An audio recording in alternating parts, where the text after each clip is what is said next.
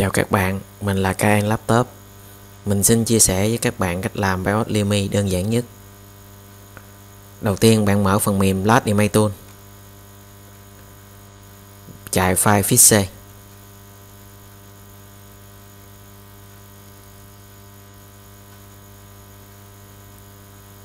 Bạn à, cũng chú ý là phần mềm Last à, Image Tool có nhiều vẹt xanh thì mình không biết là con BIOS của mình thuộc vạch xanh nào bạn cứ mở đại. Nếu mà đúng vạch xanh của nó thì nó, nó sẽ mở bình thường.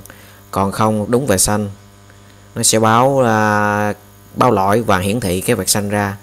Mình sẽ chọn uh, đúng cái phần mềm Blast Image Tool cùng vạch xanh để mở nó lên. Bây giờ mình load file bị lỗi xuống. Ở đây mình chọn file bị lỗi của mình là Lenovo G5070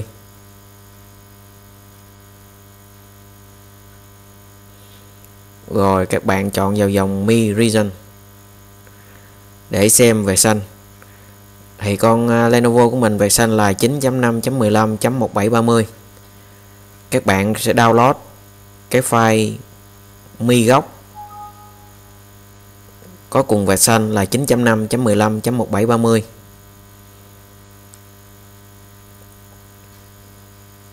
ở đây mình đã đào sẵn và bây giờ mình tiến hành load file, mi góc xuống. Bạn click vào mi binary input file.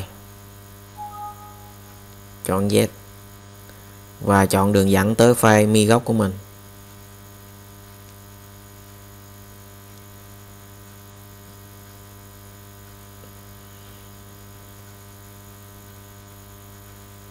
Rồi, bây giờ bạn chọn đường dẫn.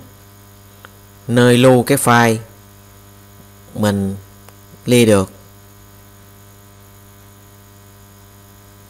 Ở đây mình chọn ra desktop. Rồi mình đặt tên là Lenovo G50 70 Limi.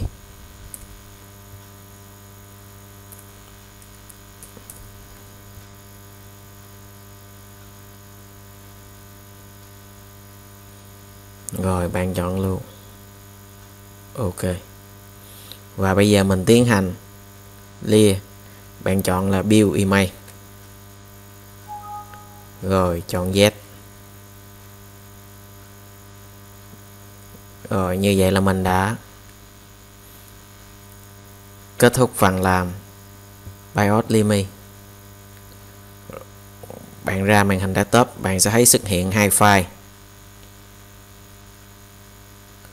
Đây là file Limi của mình vừa tạo được.